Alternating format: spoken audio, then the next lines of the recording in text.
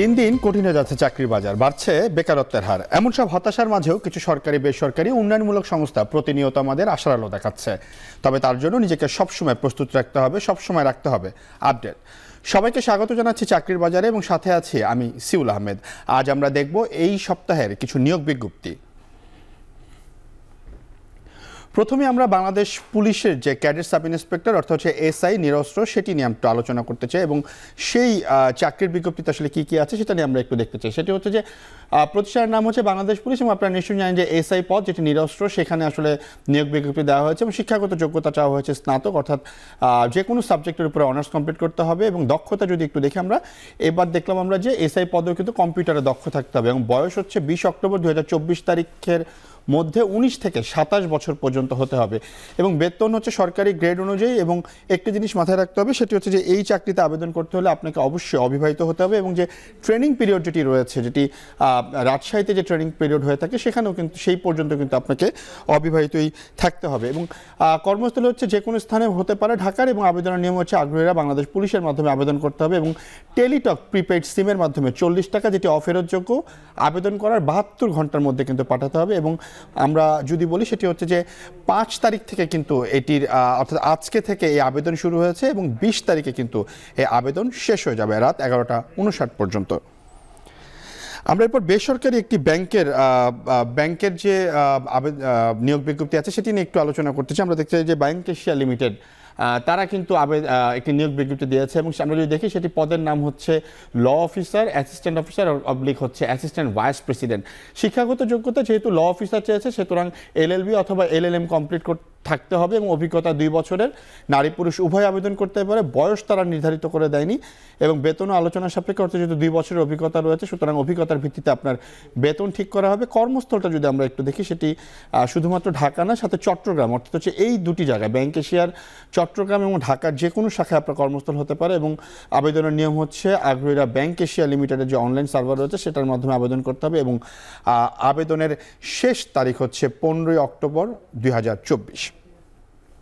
আমরা একটা ফিনান্সিয়াল কোম্পানির নিয়োগ বিজ্ঞপ্তি নিয়ে একটু আলোচনা করতে সেটা হচ্ছে আইপিডিসি ফাইন্যান্স লিমিটেড যেটি রয়েছে, তারা কিন্তু নিয়োগ বিজ্ঞপ্তি দিয়েছে। আমরা একটু বিস্তারিত দেখছি এই নিয়োগ বিজ্ঞপ্তি নিয়ে এবং আমরা যদি একটু দেখি, সেটি হচ্ছে যে প্রতিষ্ঠানের নাম হচ্ছে আইপিডিসি ফাইন্যান্স লিমিটেড এবং পদের নাম হচ্ছে ক্রেডিট অ্যানালিস্ট অর্থাৎ ক্রেডিট অ্যানালিস্ট রয়েছে, তা সেই পোস্টের জন্য আপনি আবেদন করতে পারবেন। সেটার জন্য যেটি শিক্ষাগত যোগ্যতা চাওয়া হচ্ছে সেটি হচ্ছে বিবিএ ফাইন্যান্স অ্যান্ড ব্যাঙ্কিংয়ে মেজর থাকতে হবে এবং অভিজ্ঞতা হচ্ছে এক বছর। তবে অনভিজ্ঞ যারা রয়েছেন, তারাও খুব সহজেই আবেদন করতে পারেন এবং বয়স এবং প্রার্থীর ধরন হচ্ছে নারী পুরুষ, উভয় আবেদন করতে পারবে। নির্ধারিত কোনো বয়স নেই। বেতন হচ্ছে অভিজ্ঞতার উপর ভিত্তি করে হবে এবং ঢাকার যে আইপিডিসি ফাইন্যান্স লিমিটেডের অফিস রয়েছে, সেখানে কিন্তু কর্মস্থল। এবং আগ্রহীরা খুবই সাধারণ যে নিয়ম রয়েছে, সেটি হচ্ছে আইপিডিসি ফাইন্যান্স লিমিটেডের যে ওয়েবসাইট রয়েছে, সেখানকার ক্যারিয়ারে গিয়ে অ্যাপ্লাই অনলাইনে আবেদন করতে হবে এবং আবেদনের শেষ সময় আমরা যদি একটু বলি, সেটি হচ্ছে যে বারোই অক্টোবর দুই হাজার চব্বিশ রাত এগারোটা উনষাট পর্যন্ত।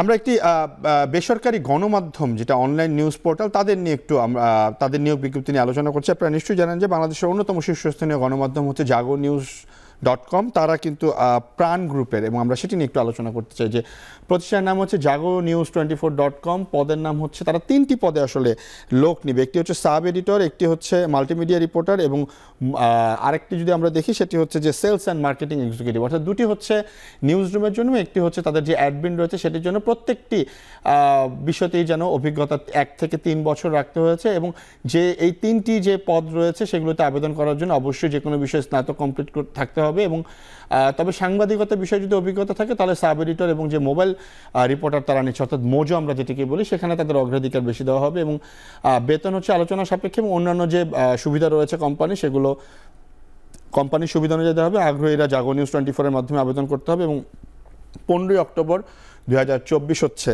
এটির সর্বশেষ তারিখ। পনেরো অক্টোবর দুই হাজার চব্বিশ হচ্ছে এটি সর্বশেষ ডেট দর্শক, আমরা দর্শক, আমরা এই মুহূর্তে একটি বিরতিতে যাচ্ছি চাকরি বাজার থেকে ফিরছি একটু পরে।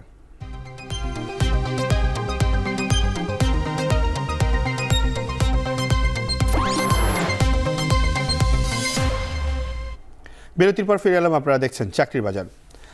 আমরা এই মুহূর্তে কয়েকটি উন্নয়নমূলক সংস্থা নিয়ে আলোচনা করতে চাই। আপনারা নিশ্চয়ই জানেন যে বাংলাদেশে আন্তর্জাতিক সেবা প্রতিষ্ঠান যেটি রয়েছে, সেটি হচ্ছে যে মেরি স্টপ বাংলাদেশ। তারা কিন্তু নিয়োগ বিজ্ঞপ্তি দিয়েছে। আমরা একটু মেরি স্টপস বাংলাদেশের নিয়োগ বিজ্ঞপ্তি নিয়ে বিস্তারিত দেখতে চাই।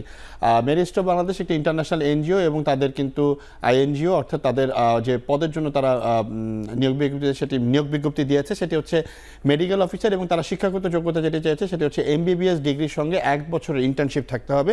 অভিজ্ঞতা হচ্ছে এক বছর এবং শুধুমাত্র নারীরাই কিন্তু এই পদের জন্য আবেদন করতে পারবে এবং বেতন হচ্ছে আলোচনা সাপেক্ষে। তবে কর্মস্থল যদি আমরা একটু দেখি, সেটি হচ্ছে কুড়িগ্রাম, রাজশাহী, ঠাকুরগাঁও।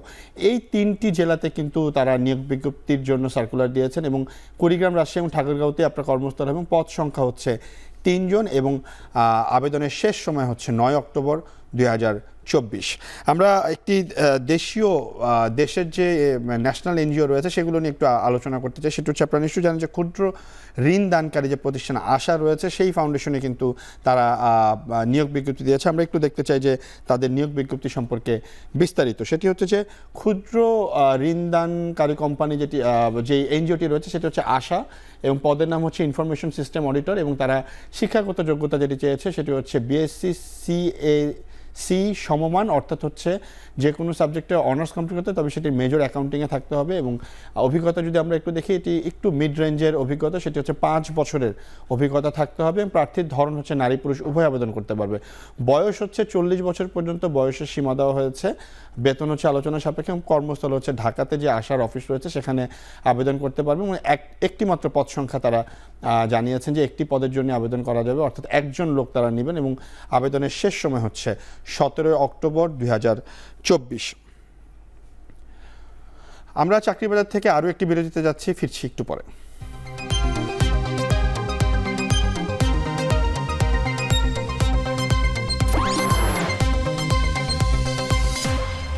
বিরতির পর আরও একবার ফিরে এলাম। আপনারা দেখছেন চাকরির বাজার। আপনারা নিশ্চয়ই জানেন, প্রতি সপ্তাহে আমাদের সাথে একজন অতিথি উপস্থিত থাকেন, যিনি আমাদেরকে কর্পোরেট বিভিন্ন সাজেশন দিয়ে থাকেন। আজ আমাদের সাথে অতিথি হিসাবে স্টুডিওতে উপস্থিত আছেন সনদ দত্ত, যিনি চিফ ফাইন্যান্সিয়াল অফিসার রানার গ্রুপে কর্মরত আছেন। সনদ ভাই, আপনাকে অসংখ্য ধন্যবাদ। আপনি আমাদেরকে ব্যস্ততার মাঝে সময় দিয়েছেন। আমরা একটু জানতে চাই, সেটা হচ্ছে যে নিয়োগ বিজ্ঞপ্তির পর কোন বিষয়গুলো দেখে আসলে আপনারা একজন প্রার্থীকে ইন্টারভিউয়ের জন্য কল করেন? ধন্যবাদ আপনাকে এখন টিপিকে আমাকে আমন্ত্রণ জানানোর জন্য। আসলে আমাদের যে জাজমেন্টগুলো থাকে, সেটার সাথে হচ্ছে জেডির সাথে কতটুকু? আমরা তো যখন সার্কুলারটা দিই, তখন জেডিটা সার্কুলেট করে দিই যে জব ডেসক্রিপশনটা কীরকম হতে পারে মানে জব প্রোফাইলটা কীরকম হতে পারে। আমরা যখন শর্টিংটা করি, আমাদের মেইন টার্গেট থাকতে, থাকে হচ্ছে ওই জেডির সাথে কার এক্সপিরিয়েন্সটা কম্পারেবল হয়। যদি মিড রেঞ্জের হয়, আর যদি ফ্রেশার হয়, সেক্ষেত্রে দেখা হয় তার এঙ্গেজমেন্ট কতটুকু? নট অনলি সিভিতে তো আমরা একাডেমিকটাই বেশি দেওয়ার চেষ্টা করি বাট রিসেন্ট ট্রেন্ড হচ্ছে আপনার সোশ্যাল অ্যাক্টিভিটিতে যদি আপনি ইনভলভ থাকেন সেটা কিন্তু আপনার কর্পোরেট লাইফটা একটু অ্যাডভান্স আপনাকে ফিচার দিবে যে আপনি আরও কিছু এক্সট্রা কারিকুলাম আপনার যদি সিভিতে রাখতে পারি সেইটা সিভি শর্টিংয়ের ক্ষেত্রে আমার মনে হয় বেটার একটা আউটপুট সেক্ষেত্রে কি মানে ইউনিভার্সিটিতে যারা পড়াশোনা করছেন ফ্রেশার যারা জি সেক্ষেত্রে বিভিন্ন ক্লাবে অর্গানাইজ করা কিংবা বিভিন্ন যেই কারিকুলাম ইন্টিগ্রেশনগুলো হয় সেগুলিতে অ্যাটেন্ড করা। ডিবেট পার্টিসিপেট করা বিভিন্ন কারিকুলাম অথবা বিভিন্ন প্রোগ্রামে তাদের তার কন্ট্রিবিউশনটা কতটুকু ছিল এইসব যদি তার সিভিতে হাইলাইটেড থাকে সেক্ষেত্রে আমরা ধরে নিই যে কর্পোরেটে তার মানে অ্যাডপশনটা অনেক বেটার হবে অথবা এত তাড়াতাড়ি ওকে সনন্ত যেটা হচ্ছে যে হয় না একটা সময় যে আমরা অনেকগুলো সিভি থেকে যখন কল করি এরপরে তো আমরা আসলে দেখি যে দুই তিনজন ক্যান্ডিডেটের প্রায় অলমোস্ট সেম সিভি থাকে সেম কোয়ালিফিকেশন এডুকেশনাল ব্যাকগ্রাউন্ড তখন একজনকে আপনাকে নিতে হবে। সেক্ষেত্রে আসলে একজনকে আপনারা বাছাই করেন কীভাবে? কিংবা কোন কোন বিষয়গুলো আসলে ওই তিনজনের মধ্যে থেকে একজনকে আসলে আলাদা করে ফার্স্ট অফ অল হচ্ছে তার একাডেমিক রেজাল্টটা যদি আমি ফ্রেশারের কথা বলি, সেক্ষেত্রে আমরা প্রায়োরিটি দিব একাডেমিক রেজাল্টটা কীরকম, আর সিভি রাইটিংয়ে তার কতটুক ক্যাপাবিলিটি আছে, সেইটা কিন্তু একটা নোটেবল পয়েন্ট ইভেন সিভির প্রেজেন্টেশনটা কীরকম? অনেকেই ক্যাজুয়াল একটা ফটো তার সিভিতে প্রোফাইল হিসেবে দিয়ে রাখে। তো এগুলো কনসিডারেবল ইস্যু হয়ে যায়। তখন একই লেভেলের এডুকেশন লেভেলটা যদি একই রকম হয় অথবা এক্সপিরিয়েন্স লেভেল যদি একই রকম হয় দেন আমরা দেখি হচ্ছে তার প্রেজেন্টেশন স্কিলটা আসলে কতটুক। সে কতটুকু ক্যাপেবল তার করার জন্য। ইভেন সে নিজে করেছে কিনা এটাও কিন্তু সিভি দেখলে বোঝা যায় যে কোনো থার্ড পার্টি দিয়ে করা অথবা আউটসোর্স দিয়ে করা না নিজে বিল্ড আপ করা। আচ্ছা সনদে যেটা হচ্ছে যে এই টু থাউজেন্ড টোয়েন্টি ফোর চলতেছে এখন। জি। এখনও আসলে আমাদেরকে সিভি নিয়ে কথা বলতে হয় যে থার্ড পার্টি লিখে দিচ্ছে কিংবা সিভিতে অনেক মিস ইনফরমেশন থাকে। এই ক্ষেত্রটা আসলে আপনি কীভাবে দেখেন? কিংবা এটা এটা আসলে পুরোটাই আমাদের unfortunate part I I can say because এই আপনি যেটা বললেন এই টোয়েন্টি ফোরে এসে থার্ড পার্টি থেকে সিবি নিয়ে আমাকে জবের জন্য অ্যাপ্লাই করতে হবে এটা পুরোটাই unexpected from our side from corporate আপনারা কি দেখলেই বুঝেন কোনটা থার্ড পার্টি কিছু কোনটা মিথ্যা বোঝা যায় কারণ কিছু হচ্ছে আপনার কমন প্যাটার্ন থাকে যেটা দেখলেই বোঝা যায় এটা থার্ড পার্টির মাধ্যমে করে নিয়ে আসে। কিছু কমন ল্যাঙ্গুয়েজ থাকে যেটা তারা স্কিলের ক্ষেত্রে বেসিক্যালি হচ্ছে যখন সে ফ্রেশারের নিয়ে তো কথা বলছি আজকে তো স্কিলের ক্ষেত্রে তারা ম্যাক্সিমামে দেখা যায় internet browsing reading poem etcetera etcetera দিয়ে থাকে যেটা আসলে বোঝা যায় যে সে কোনো কাউকে কাছ থেকে কপি করেছে অথবা হেল্প নিয়েছে। সেটা না করাটা বেটার সিবি রাইটিংয়ের ক্ষেত্রে, কারণ সিবিটা হচ্ছে আপনার প্রোফাইল আপনি তো প্রেজেন্ট থাকছেন না, আমি যখন আপনার প্রোফাইলটা দেখছি, তা আমি জাজ করব আপনার ওই হার্ড কপিটা দেখে অথবা সফট কপিটা দেখে। তো আপনাকে, আপনি কি, আপনার পার্সোনালিটি কীভাবে প্রেজেন্ট করবেন সিবিতে সেটা বেশি ফোকাস দেওয়া উচিত। আর এখন আমাদের একাডেমিক যে এডুকেশন সিস্টেম সেইটার সাথে সাথে আমাদের যেটা হচ্ছে, যেহেতু একটা ডিজিটাল প্ল্যাটফর্ম আমরা চলে এসেছি মোস্ট অফ দ্য কোম্পানি হচ্ছে মোবাইল অ্যাপ এইসব ব্রাউজিংগুলো ইউজ করে। তো তাদের হচ্ছে মানে উচিত হচ্ছে আপনার যে কম্পিউটার স্কিলটা যেন এডুকেটেড হয় ব্রাউজিং স্কিলটা যেন এডুকেটেড হয়। আর একটা জিনিস দেখা উচিত যেটা আমরা ম্যাক্সিমাম ক্ষেত্রেই ভুল করি যে ব্রাউজিংয়ের ক্ষেত্রে অথেন্টিক সোর্সটা আসলে কোথায় ইনফরমেশনের আচ্ছা। কারণ একটা জিনিস সার্চ দিলে আপনার গুগলে অনেক কিছু চলে আসবে অথবা চ্যাট জিবিটিতে অনেক কিছু চলে আসবে। আপনাকে বেছে নিতে হবে অথেন্টিক কোন নিউজটা আমাকে অ্যাডপ্ট করতে হবে। তো এগুলো একটু কনসিডারেবল করে যদি সে নিজেকে প্রিপেয়ার করে দেন আমার মনে হয় সে নিজের সিবিটা নিজে করে ফেলতে পারবে যেটা আমার আমাদের কর্পোরেটের জন্য easier to identify the right candidate আচ্ছা সনদ যেটা হচ্ছে আপনি যে প্রফেশনের সাথে আছেন আপনার প্রফেশন কিংবা আপনার ব্যাকগ্রাউন্ডে কাউকে যদি আবেদন করতে হয় সেক্ষেত্রে তার আসলে কোন বিষয়গুলো খুবই লক্ষ্য রাখা দরকার বলে মনে হচ্ছে। মার্কেটিং ফাইন্যান্সিয়াল পিআর অনেকগুলো সেক্টরিতে থাকে। আপনার সেক্টরটা শিওর আমি প্রফেশনালি চার্টার্ড অ্যাকাউন্টেন্ট আমি এফসিএ বাংলাদেশ আইসিএবির মেম্বারশিপ নিয়ে আছি। তো আমাদের ক্ষেত্রে যখন অ্যাকাউন্টিং রিলেটেড জব সার্কুলার আমরা দিই অথবা ফাইন্যান্সিয়াল অ্যানালিস্ট সম্পর্কে জব সার্কুলার সার্কুলারগুলো দিই আমরা প্রফেশনাল এডুকেশনটাকে একটু বেশি প্রায়োরিটি দিই। কারণ একটা ছেলে যখন একটা ফার্মে যে এঙ্গেজ থেকে যখন তারা তাদের সার্কুলেশনগুলো করতে আসে, তো তখন তাদের কতটুকু expertise within this articleship period সেটা আমরা একটু জাজ করার চেষ্টা করি আমাদের। ইভেন আরেকটা যেটা আমরা চেষ্টা করি, তারা প্রফেশনালি একাডেমিক যে রেজাল্ট সেটাতে সে কতটুকু এগিয়ে যাচ্ছে। কারণ CA qualified would be three four five years তো আমি চেষ্টা করব যে থ্রি ফোর ইয়ার্সের মধ্যে একটা ক্যাপেবল ছেলে যদি কোয়ালিফাইডের দিকে যায় আমি বুঝে নিব তার academic knowledge strong even he has some good contribution in the firm যেটা আমার কর্পোরেটকে হেল্প করবে। আমরা দেখি যে এই যে এই সেক্টরে আপনিও কিছুক্ষণ আগে কথায় বলেন যে হি আমরা সবসময় দেখি যে একটু ছেলেদের আগ্রহ জায়গাটা বেশি থাকে ফাইন্যান্সিয়াল জায়গাগুলোতে মেয়েরা কি একটু পিছিয়ে আছে রিসেন্টলি একটু আগাচ্ছে ছিল কারণ এই জবটা একটু মানে আউটগোয়িং এর চেয়ে ব্যাক অফিসের জবগুলো কিন্তু একটু ডকুমেন্টেড অরিয়েন্টেড হয়।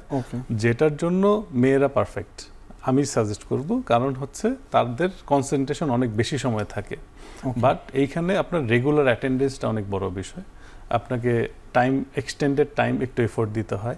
রেগুলার অফিসে আসতে হয়। এইসব ক্ষেত্রে কিছুদিন আগেও আমরা দেখতাম একটু পিছিয়ে ছিল বাট রিসেন্ট ট্রেন্ড হচ্ছে মেয়েরা খুব ভালো করছে এই সেক্টরগুলোতে ব্যাক অফিস সাপোর্টগুলো আমাদের ফাইন্যান্স বলেন অথবা সেলস অ্যাডমিন যে back অফিসগুলো legal team corporate secretary team এখানে ফিমেল ক্যান্ডিডেটরা বেশ ভালো কন্ট্রিবিউট করছে।